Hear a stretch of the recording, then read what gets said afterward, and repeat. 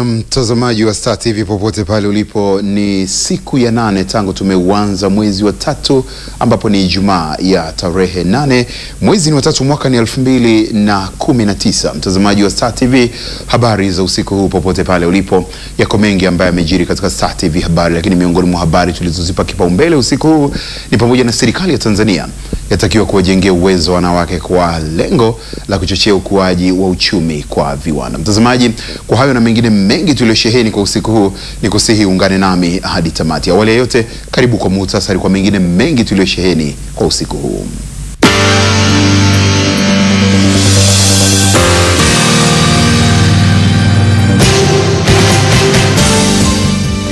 Wanawake nchini waungana na wenza ulimwenguni kuadhimisha siku ya kimataifa ya wanawake duniani, wakihimizwa kuchangamkia fursa za kujikwamua kiuchumi. Kwa habari za biashara na uchumi kwa usiku huu, soko la hisa la Dar es Salaam latakiwa kuzingatia usawa wa kijinsia na kutoa elimu zaidi ya masoko ya hisa kwa wanawake kwenye sekta isiyo rasmi. Katika habari za kimataifa, mkurugenzi mtendaji wa kituo cha sheria na haki za binadamu LHRC Bi Anna Henga atunukiwa tuzo ya mwanamke jasiri duniani. Na katika habari za michezo na burudani, kocha wa Taifa Stars Emmanuel Amunike atangaza kikosi cha wachezaji 25 watakaoiangamiza Uganda. Na Lionel Messi arejea kikosi cha timu ya taifa ya Argentina.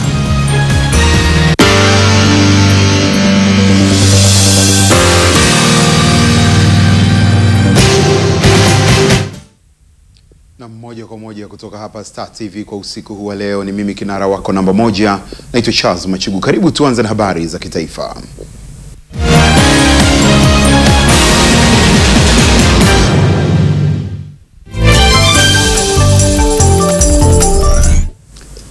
Kituo cha Sheria na Haki za Binadamu LHRC kimelaani kitendo cha mashabiki wa mche, michezo nchini kuwatumia wake zao katika dhamana au rehani za michezo yao, kitendo ambacho kinadhalilisha na kushusha utu na thamani ya mwanamke. John Ndeki kutoka Dar es Salaam na undani wa habari hii. Kinachoniuma mimi ni ahadi kubwa ambayo nimeahidi, umeelewa? Mimi sasa hivi sijui labda kama wana Simba wenyewe watanionea huruma. Mimi mke wangu nimemweka rehani, nimepinga na mtu wa Simba kwa sababu ya mke.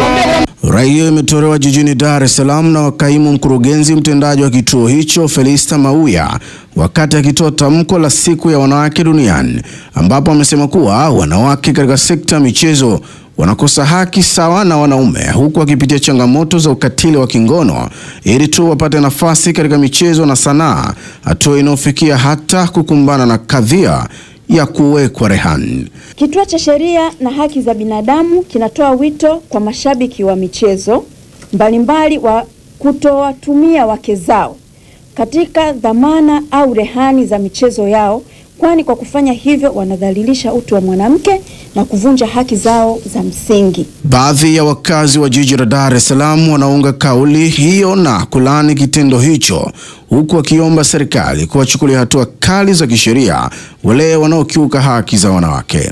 Takriban asilimia tisini wanawake wengi hawajui mpira. Unamweka mtu rehani kwa kitu ambacho hakijui. Hivi jifikirie, ingekuwa wewe kwa mfano kwa upato, nasema hivi, mimi upato nikiona nimekosa, chukueni mume wangu, ungejisikiaje? Kwa ni kitu ambacho kwangu mimi sio nikaa ni sahihi.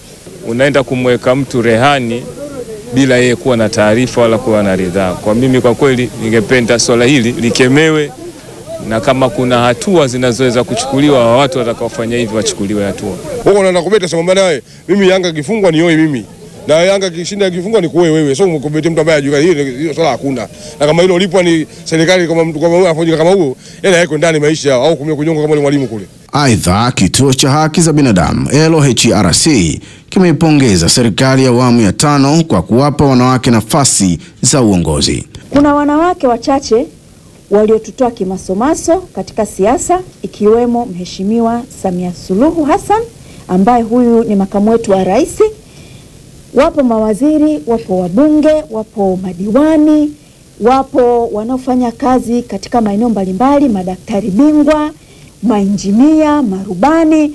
Hao wote ni wanawake ambao wanatuwakilisha na wanaonyesha kwamba bado mwanamke ana nafasi Tarehe nane Machi kila mwaka ni siku ya maadhimisho ya wanawake duniani ambayo huadhimishwa duniani kote, ambapo siku hii huwa ni siku ya mapumziko, kuenzi na kusherehekea juhudi za wanawake katika kudai haki zao.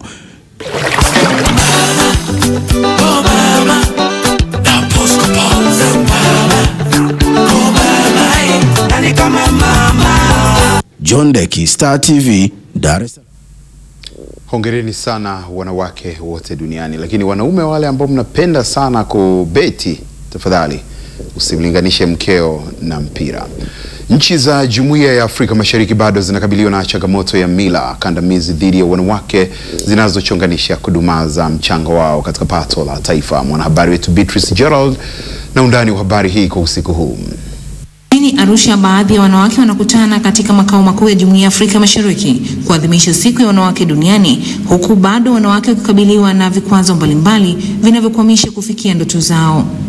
Generose Minani ni mkuu wa kitengo cha wanawake wa Jumuiya ya Afrika Mashariki ambaye licha ya kutambua nafasi ya mwanamke anabainisha baadhi ya changamoto zinazowakabili wanawake wa ukanda huu. Ya kwanza wana tatizo kutoka nyumbani na kufanya hizo kazi zao. Ni hiyo tuko tunasema leo balance. Kubalance it's a, a big challenge. Mama akiingia for instance, kwa mfano akiingia kwenye business anaweza kuwa na changamoto, anafikiria nyumbani, watoto nimewaacha peke yao, uh, vitu vingine havifanyiki kwa sababu mama hayupo. Wanafanya business wanaacha. Licha ya changamoto hizo, wanawake wanatakiwa kuwa mstari wa mbele katika kuchangamkia nafasi mbalimbali na kutochagua kazi kwa madai kuwa ni za wanaume na badala yake kufanya kazi kwa bidii ili kufikia malengo kwa maslahi ya jamii na taifa kwa ujumla. kwamba ni muda mwafaka sasa kujikita katika maeneo kama ambavyo tumejikita kwenye maeneo mbalimbali. Huko nyuma kuna baadhi ya kazi tulidhani ni za wanaume, tuliamini kwamba mainjinia ni wanaume, tuliamini kwamba mapilot ni wanaume, tuliamini madaktari lazima ni wawe wanaume. Sasa ni wakati muhimu sana kuanzia ngazi ya primary school walimu, sera zetu ziweze kujikita kuhakikisha kwamba wakati tuna move kwenye teknolojia ambayo dunia inaenda, wanawake hawaachwi nyuma. Lucas Kariongi ni mtetezi wa haki za wanawake wa jamii ya Kimasai na Bahati Loti wanaeleza furaha yao katika maadhimisho haya huku akieleza kuwa uelewa mdogo wa kisheria bado ni kikwazo kwa baadhi ya wanawake katika maeneo mbalimbali hususani ya vijijini. Mimi nimewahi kuwa mtetezi wa wanawake huko Masaini baada ya kuona kwamba tabia na tamaduni zetu kuna wakati mwingine sana inaenda kinyume na sheria na haki ya, ya mtu binafsi. Changamoto nyingine ni kwamba wanawake wengi hawajajua sheria ya ardhi inasema nini au inaongelea nini kuhusiana na masuala ya ardhi. Kuna mtu kweli ana eneo lake lakini hajui kisheria, au kuna mtu amenunua eneo lakini ameliacha labda miaka kumi na mbili hajalitumia, mtu mwingine akaenda akatumia lile eneo. Kwa hiyo kuja upatikanaji wake unakuwa ni mgumu zaidi. Eh, siku ya leo ni nzuri sana kwetu kwa sababu nimeona pia kwamba haki sisi wa mama wa Kimasai tuko nyuma sana, lakini nimekuja kuona kwamba wengine kumbe siku nyingi sana wameshatutangulia. Kwa hiyo hii inanipelekea mimi kupeleka hamasa katika vijiji vile kwa ajili kuamsha wanawake ili waweze kufanya kazi kwa bidii kwa ajili ya ku, ku- kuamua hali ya uchumi iliyo ngumu kwa sasa. Badili fikra kufikia usawa wa kijinsia kwa maendeleo endelevu ni kauli mbiu ya maadhimisho haya kwa mwaka huu, yakiwa na lengo la kutambua na kuthamini mchango wa wanawake katika jamii. Kutoka katika makao makuu ya Jumuiya ya Afrika Mashariki, Beatrice Gerard wa Star TV. Shukrani sana Beatrice Gerald. Mtazamaji, bado tukiangaangaa katika anga la wanawake, balozi wa Marekani nchini Emma Patterson ametoa wito kwa serikali ya Tanzania kuwajengea uwezo wanawake kwa lengo la kuchochea ukuaji wa uchumi wa viwanda ambao utasaidia kuleta mabadiliko katika jamii. Taarifa kamili tuungane naye Othman Mihula toka jijini Dar es Salaam. Balozi huyu ametoa kauli hiyo katika maadhimisho ya siku ya wanawake duniani wakati akizindua mafunzo ya teknolojia kwa wasichana walioshindwa kuendelea na elimu kwa sababu mbalimbali za kijamii na kiuchumi. Amesema jamii yeyote haiwezi kufikia kiwango cha juu cha maendeleo ikiwa kundi la wanawake hawashirikishwi katika uzalishaji mali. Wakati wa kipindi cha kubalehe ndipo wasichana wengi wanawacha shule na kuolewa au kudharauliwa na kulazimika kutohudhuria shuleni kwa sababu ya hedhi. Ni wazi kwa nini lazima tuwekeze kwa wasichana na wana, uh, wanawake. Wao ni ufunguo wa kuandaa kwa manikio, mafanikio kizazi kijacho. Kwa upande wake meneja mradi wa taasisi ya Absent Girls Jessica Mari amesema kuwepo kwa utofauti kati ya wanawake na wanaume katika elimu ndiyo sababu ya kuanzisha mafunzo hayo kwa wasichana ili waweze kutoa mchango wao katika maendeleo. Usawa wa kijinsia bado hatujafikia ile usawa. Uh, wanawake kwenye jamii bado kuna matatizo mengi, na kama hapa sisi wenyewe tuna shuhuda nyingi. Mtoto anaweza akawa anakuja shule, matatizo ya hedhi watu tunaweza tukaona ni jambo dogo, lakini kuna watoto siku tatu hawezi kuja hapa program kwa sababu ya matatizo, lakini pata picha yale matatizo, lile jambo limemkuta katika siku ya mtihani, maanake yule msichana hawezi kufanya mtihani.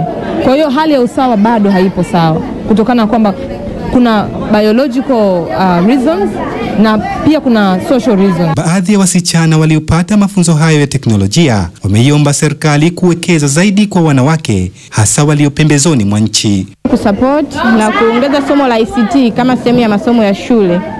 E, wanafunzi kuanzia underground yani twende tunajifunza technology kwa maeneo yote, yani italeta usawa sana, kwa sababu watu walioko shuleni wasichana ni wengi. Napenda kuambia pia wahusike katika teknolojia napenda kusoma teknolojia kwa sababu ni nyepesi. Kama sisi tunaweza, wao kwa nini wasiweze? Tech is female, balance for better. Mafunzo hayo ya teknolojia yamefadhiliwa na kampuni ya mawasiliano za mikononi ya Tigo na yamehusisha wasichana 37 yakilenga kubadilisha fikra juu ya ushiriki wa wanawake katika masuala ya teknolojia na viwanda. Athman Mihula, Star TV, Dar es Salaam. Swala la uongozi kwa wanawake katika nchi za Jumuiya ya Afrika Mashariki limetajwa kuwa kipaumbele cha kuzingatiwa hususan kwa kuhimiza wagombea nafasi za uongozi kwenye nyanja za kisiasa badala ya kusubiri kuteuliwa. Mwenzetu Angela Muleka ambaye kwa sasa yuko kule visiwani Zanzibar anajadili swala hilo na wabunge wanawake wa bunge la Jumuiya ya Afrika Mashariki. Kwako Angelo Muleka. Hapa nipo na wabunge wawili wa bunge la Jumuiya ya Afrika Mashariki, mmoja kutoka Rwanda na mwingine kutoka Tanzania. Kutoka Rwanda ni Mheshimiwa Fran- Francois Uwumukiza. Haya ni majina Francois Umu, Francoise Umukiza. Haya ni majina ya Kinyarwanda, lakini ninaye Happiness Rugiko kutoka Tanzania. Jamani, karibuni. Asante. Leo ni siku ya kimataifa ya wanawake, ni siku yenu. Kwanza hongera sana. Asante sana. Tuanze na wewe unayetokea Rwanda. Mm. Nyie Rwanda ni nchi ambayo mnajulikana, mmepata sifa kubwa duniani kwa kuwa na wanawake wengi viongozi, na hivi sasa wewe ni mbunge wa bunge la Afrika Mashariki. Uliwa, Na uliwa, mimi ni mwongozi. ule- na wewe ni kiongozi, uliwabwaga wanaume wengi, wewe mwanamke ukaja. Yeah. Nini siri ya urembo kule Rwanda? Mnafanyaje mpaka wanawake mnapata uongozi sana? Ah, sasa tulipewa sapoti, kwa hiyo tuendelee na kazi. Ipewa sapoti, tulikuwa tuna, tunapokea maheshimu wengi kutoka kwa, kwa rais mkubwa wa nchi ya Rwanda Kagame. e, Kagame e, tunamshukuru pia mm. sasa, na wengine wanawake wote mm. na wanaume pia tulikuwa tunatumia pamoja. E, hii umoja yetu ilitufanya tukakuwa watu wa nguvu zaidi wengi. Mheshimiwa Happy, hii unaionaje? Tanzania tutafikia, tutaweza? Tanzania tuna uwezo wa kuwasapoti wanawake pia wakafika level za juu. Hata tukiangalia kwa bunge la, la Afrika Mashariki, kwa kweli kwa Tanzania tume, tumeonyesha mfano wa kuigwa, kwa sababu kama tunavyojua katika bunge la, la Afrika Mashariki kila nchi inaleta watu tisa. Mm. So ukiangalia katika nchi zingine Tanzania mko wangapi? Wanawake? Mhm. Tanzania wanawake ni watano, wanaume ni wanne. mm. Lakini katika nchi zingine wanawake wanne, wanawake wanaume watano, wanawake watatu, wanaume watano. Kwa hiyo Tanzania tumeonyesha mfano mzuri.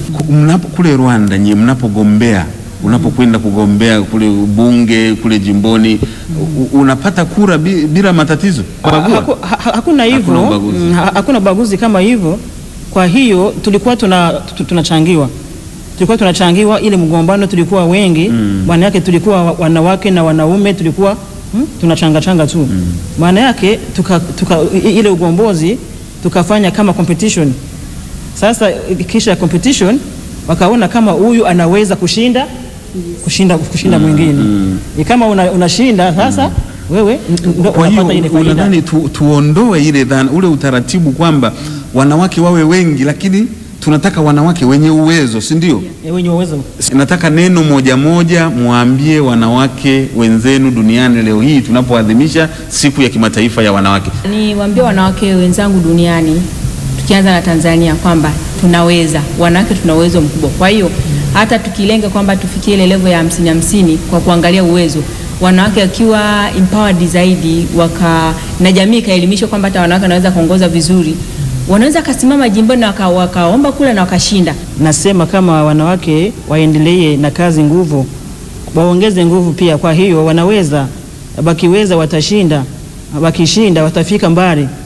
Sasa ile waendelee tu kabisa. Kwa hiyo mimi nimeona kama wanawake wa, wa, wa, wa muungano wa Tanzania wanatumika sana, ni, ni, ni wafanyabiashara Tunataka siku moja Afrika Mashariki tu, tu, tuone rais mwanamke Eh? inawezekana. Ni wabunge wa bunge la Afrika Mashariki ambao tumekuwa nao takriban wiki mbili sasa hapa kisiwani Zanzibar katika mkutano wa nne wa bunge la Jumuiya ya Afrika Mashariki. Happiness Lugiko yeye ni mbunge kutoka Tanzania na Francois Uvi.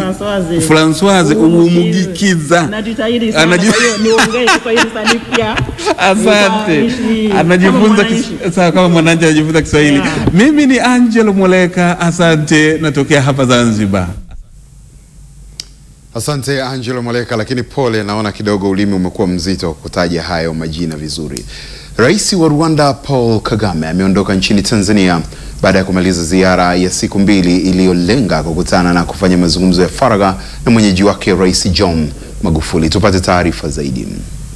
Rais Kagame aliwasili nchini Machi saba ikiwa ni ziara ya tatu Tanzania tangu Rais Magufuli aingie madarakani Novemba tano elfu mbili na kumi na tano. Rais huyo wa Rwanda ni mwenyekiti wa Jumuiya ya Afrika Mashariki. Katika hatua nyingine, mara baada ya kuagana na Rais Paul Kagame aliyekuwa nchini kwa ziara ya siku mbili, Rais Magufuli akatumia nafasi hiyo kuwapongeza kina mama nchini kwa jitihada mbalimbali wanazozifanya na kwamba waendelee kutembea kifua mbele kwa kuwa serikali inawathamini. Rais Magufuli amesema serikali anayoiongoza inathamini kazi nzuri zinazofanywa na kina mama. Serikali ninayoiongoza inathamini sana kazi nzuri zinazofanywa na wakina mama.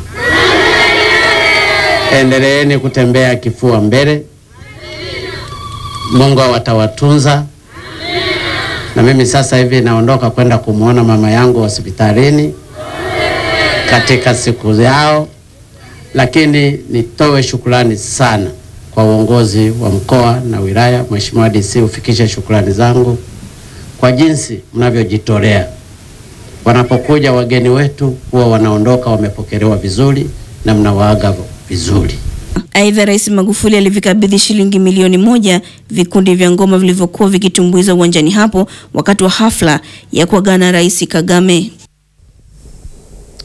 Naam, Tanzania inatarajia kurahisisha upimaji wa afya kwa magonjwa mbalimbali kupitia mashine mpya inayojulikana kama Cell Cube ya kupima magonjwa zaidi ya kumi na mawili kwa muda mfupi na bila ya kutegemea umeme iliyogunduliwa na wataalam kutoka Korea Kusini. Taarifa yake Joyce Mwakalinga kutoka jijini Dodoma inafafanua zaidi kwa usiku huu. Wataalamu hao wamesema Tanzania itanufaika na mashine hiyo kupitia kiwanda kitakachojengwa hapa nchini kwa ajili ya kuzalisha mashine hizo ambazo zitapima magonjwa zaidi ya kumi na mawili ikiwemo Ebola na Ukimwi. Akizungumza kwa niaba ya wataalamu hao kutoka kampuni inayojihusisha na utengenezaji wa vifaa vya kitabibu kutoka Korea Kusini ya Radio Cube, mkurugenzi wake Bwana Kim Beon mbele ya madaktari na wafanyakazi kutoka kwenye maabara mbalimbali mkoani hapa, anasema mashine hiyo imetengenezwa mahususi kufanya kazi katika maeneo ya vijijini ambayo hayana umeme na hayafikiwi kirahisi na huduma za hospitali, kwani hakihitaji umeme kufanya kazi. 탄자니아 어, 정부와 또 탄자니아의 어, 많은 어떤 그 연구원들과 함께 어, Tanzania itapata manufaa katika matumizi ya kifaa hiki kwa watu waishio vijijini na maeneo ya pembezoni, na kikubwa ambacho tutakifanya ni kuhakikisha kinasajiliwa na serikali rasmi ili kiwe kihalali kwa matumizi ya hapa nchini. Kinachotakiwa tu pale kitakapopatikana ni kukitunza pindi kitakapokuwa kinatumika. 또 치료하는 그런 목적의 앞으로 비즈니스를 어, 함께 하려고 할 계획입니다. 그래서 ili kueneza elimu ya matumizi ya kifaa hicho, tayari kampuni hiyo imekutana na wataalam wa maabara za hospitali, waganga, maafisa waandamizi kutoka Wizara ya Afya, wanataaluma wanaofundisha vyuo vikuu vinavyofundisha taaluma ya utabibu na maabara. Profesa Faustin Bey ni miongoni mwa wataalamu hao. Sasa kwa kifaa hiki kwangu mimi ni mapinduzi. Uh, vipo, vipo vifaa na zipo teknolojia mbalimbali mbali, lakini uh, kwa, kwa, kwa jinsi nilivyoona um, labda wataalamu wa, wa maabara wathibitishe tofauti, nilivyoona ni kifaa ambacho ni kizuri na ambacho kinaweza kikaleta kika mapinduzi katika upimaji wa afya za watu wetu. Baadhi ya wataalamu wakitoa maoni yao wamesema kama kampuni hiyo itatimiza vigezo vyote ikiwemo kukisajili kifaa husika kinaweza kuwa msaada mkubwa katika tiba hapa nchini. Mkutano huo umeandaliwa kwa ushirikiano kati ya kampuni ya kitanzania ya Yangjin yenye makao makuu jijini Dar es Salaam na kampuni ya kikorea ya Radian Cube ya nchini Korea Kusini. Joyce Mwakalinga, Star TV. Nam, sasa tuelekee jijini Dar es Salaam ambapo Waziri Mkuu Kassim Majaliwa amefika nyumbani kwa wazazi na familia ya marehemu Ephraim Samson Kibonde aliyekuwa mtangazaji wa Clouds Media Group maeneo ya Mbezi Beach jijini Dar es Salaam na kutoa salamu za rambirambi kwa niaba ya Rais John Magufuli. Kutoka Dar es Salaam, mwandishi wetu Michael Noel anatujuza zaidi. Waziri Mkuu Kassim Majaliwa akitoa salamu za lambilambi kwa familia ya marehemu Kibonde amesema ilikuwa ngumu kuamini kifo cha mtangazaji huyo, kwani ni siku chache zimepita tangu washiriki pamoja katika zoezi la kuuaga mwili wa aliyekuwa mkurugenzi wa kampuni hiyo ya Clouds Media Group Ruge Mutahaba. Alifanya kazi nzuri ya maandalizi na kuongoza shughuli za mazishi ya mfiwa mpendwa wetu Ruge wameenda mpaka Kagera, ameshiriki matukio yote. Hatimaye tunapata taarifa hii nzito. Msiba huu kila aliyesikia alianza na swali, kweli? Hata mimi nilipopata taarifa nikiwa natoka maeneo ya majukumu huko, niliuliza ni kweli, kwa sababu hakuna historia ya karibu ya mfululizo unaonyesha kwamba kulikuwa na shida kubwa inayoweza kumfikisha hapa. Baba wa marehemu Ephraim Kibonde, mzee Samson Kibonde, ameeleza kuwa kilichosababisha kifo cha mwanaye ni pamoja na tumbo kujaa gesi, presha na uvimbe tumboni, hali iliyomtokea akiwa wilayani Bukoba mkoani Kagera alikokwenda kushiriki mazishi aliyekuwa bosi wake Ruge Mutahaba kabla ya kufikishwa hospitali ya Bugando jijini Mwanza kwa matibabu. Kuna mmoja wetu anajua kesho yake, hata mmoja ajui lakini kwa kuwa Mwenyezi Mungu ndiye ameshika uhai katika mikono yake, ndio tunamtegemea. Alikuwa akiniambia sana kwamba kwenye maisha nabidi ufocus sana, kwa sababu nafasi zinapokuja lazima ujue kucheza ipi ni ya kutumia, ipi sio, kwa sababu sio kila nafasi ambayo itakuletea faida mbele. Wafanyakazi wa Clouds Media Group wamemwelezea kwa namna tofauti marehemu Ephraim Kibonde wakifanya kazi pamoja wakati wa uhai wake. Alikuwa mwalimu, alikuwa ananifundisha jinsi ya kufanya kazi, alikuwa ni mshauri. Kinachovutia kuhusu Kibonde e, yuko very spontaneous kwenye kujibu, kwenye kauli. Ukisema neno pap na yeye ni mwepesi wa kulipatia jibu pap. Na sisi binadamu huruka yetu ni kwamba ukimuona mtu kama hivi amesimama anafanya shughuli zake, huna wasiwasi, umeona, hatuwezi kujua kinachoendelea mwilini, lakini mzima. Ni tofauti na mtu kama Ruge ambaye alikuwa karibu miezi mingapi anaumwa, tunasikia.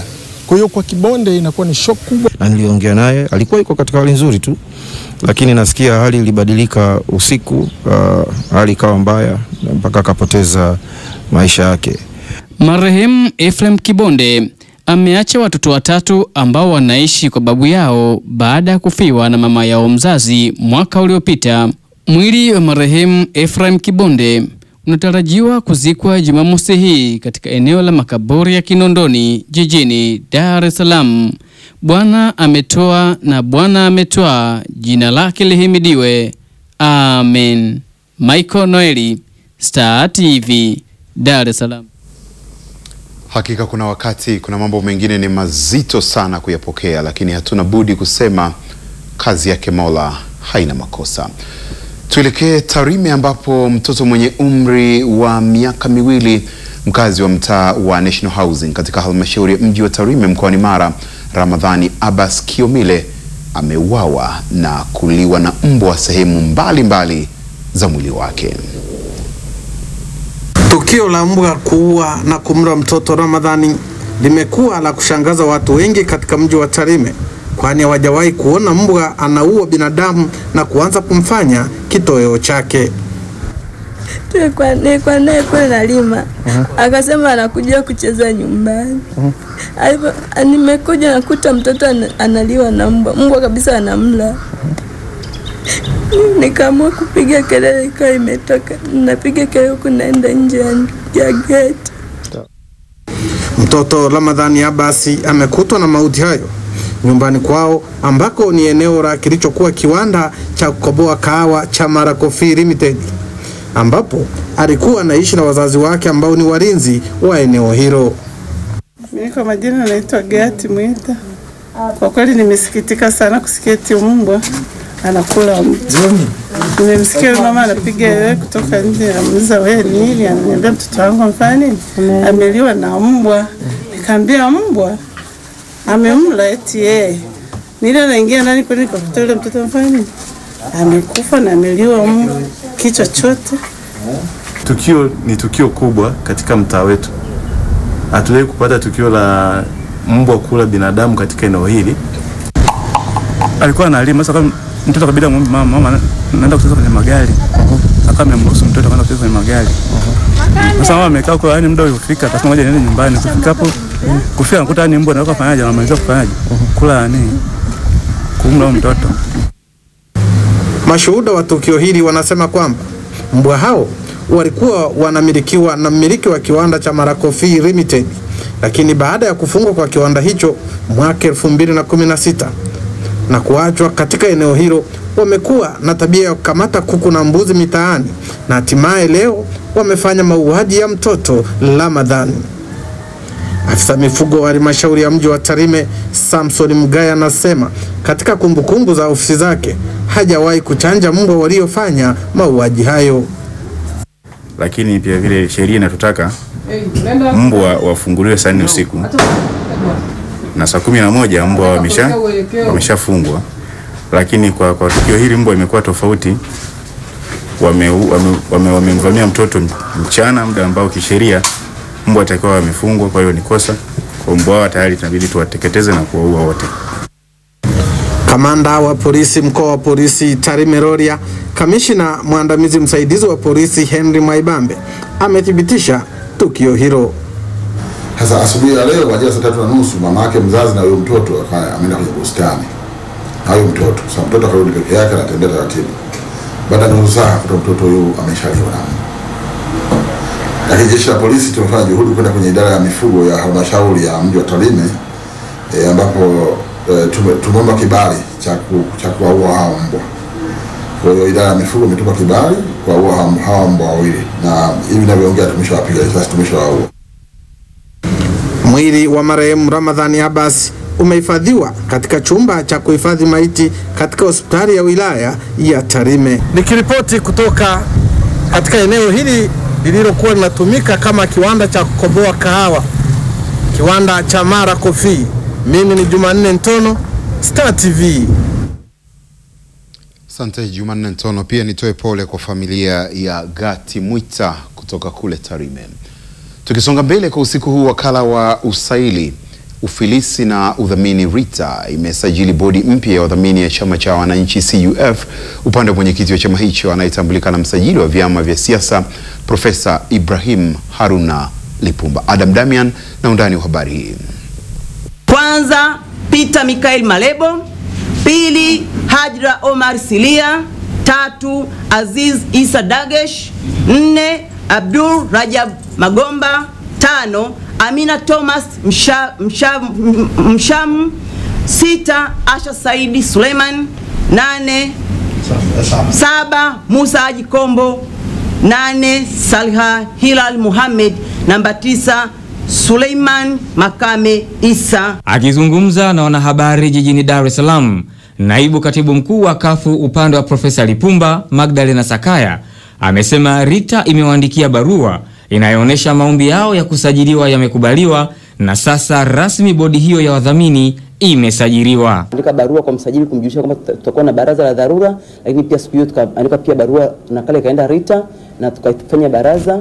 Baada ya kufanya baraza, tukateua baraza lile likateua uh, wajumbe chini ya uangalizi wa ofisi ya msajili, maana msajili alituma watu waka, wa- ofisi yake ilikuwepo pale kwa ajili ya kusimamia hilo, na baada ya hapo tukapeleka maombi yale na kujaza fomu zinazotakiwa ofisi ya Rita.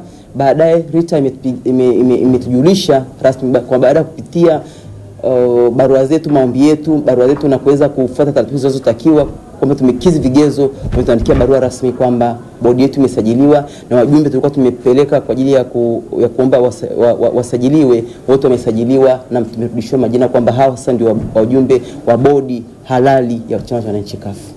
Sakaya amesema hatua hiyo imekuja baada ya kurekebisha dosari walizoelezwa na mahakama kuu katika mgogoro wa kiuongozi ndani ya chama hicho na hatimaye kukidhi vigezo vya kuwa na bodi ya wadhamini inayokubalika. Katika hatua nyingine, Sakaya ametumia maadhimisho ya siku ya wanawake duniani kuwakumbusha wajibu wao huku akiwataka kuchangamkia fursa mbalimbali mbali katika jamii badala ya kutumia muda mwingi kulalamikia haki ya usawa. Niwaombe wanawake wenzangu kwamba wanawake lazima tunyanyuke, tupige hatua tuenda mbele, tujiamini, lakini pia tuwajibike kikamilifu kwenye jamii, lakini pia tuwe majasiri, kwa sababu wanawake wengine wameogopa kwenye nafasi mbalimbali kutokana na kwamba wanaona labda hawataweza au wanaogopa labda watakorofishana na waume zao kutokana na nafasi mbalimbali. Lakini mwanamke yoyote ambapo ukishika nafasi kubwa, kama unajiheshimu na unasimamia majukumu yako vizuri na bado pale pale, hata kama ni mama wa familia, bado kuendelea kuheshimu na kumheshimu mumeo na kuheshimu familia yako, utazidi kupiga hatua. Aidha, chama hicho upande wa Profesa Lipumba kinatarajia kufanya mkutano mkuu wa wanachama wote mwishoni mwa mwezi huu kikilenga kubadili katiba ya chama hicho ili kuendana na sheria mpya ya vyama vya siasa ya mwaka 2019. Adam Damian, Star TV, Nam, tuvuke boda kidogo. Wanawake jijini Nairobi nchini Kenya wametumia siku ya wanawake duniani kuandamana ili kushinikiza serikali kuangazia matatizo yanayowakumba wanawake ikiwemo mauaji ya kiholela ambayo yameshuhudiwa pamoja na dhuluma za kijinsia nchini humo.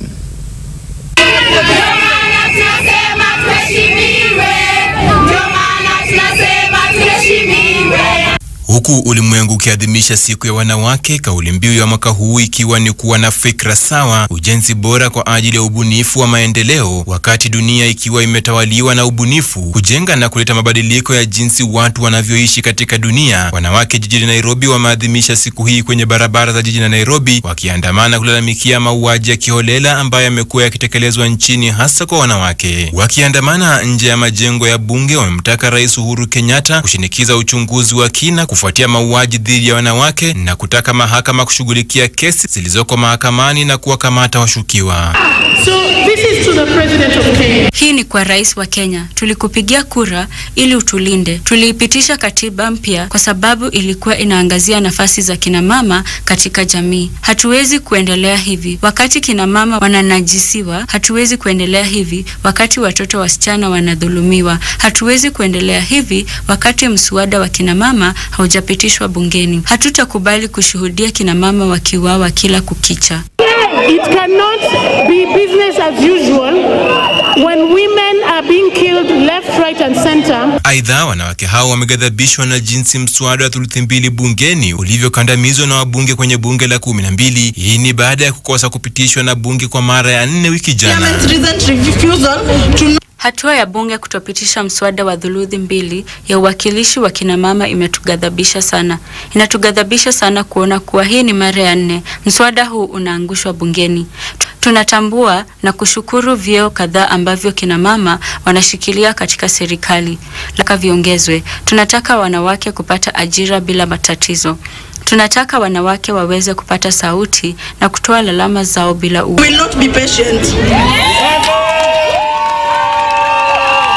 Lapsaris ameahidi kushinikiza serikali kutilia mkazo mikakati ya kutetea haki za wanawake nchini na kukashifu mauaji ya kina mama ambaye yameshuhudiwa nchini. to actually condemn Nimesikia juhudi za kina mama na wanawake na nikafurahi sana. Ninaahidi kushirikiana nanyi hadi tushinde vita hivi. Hatufurahishwi na mauaji ambayo yanatokea na tunaitaka serikali kufanya hima kuwakamata washukiwa. Ninaamini kuwa nguvu yetu haitatokana na wanaume kupigania haki zetu. Tutajizatiti tuhakikishe kuwa haki zetu zinatambulika. Ni siku iliyoadhimishwa kote ulimwenguni huku baadhi ya wanawake nchini Kenya wakiongozwa na wanaharakati na wanasiasa nchini wakitumia fursa hii kutoa lalama zao kwa serikali ya taifa la Kenya kuzingatia usawa wa jinsia na kutambua nafasi za kina mama serikalini. Kutoka Nairobi, Kenya, mimi ni Dennis Chisaka wa Star TV.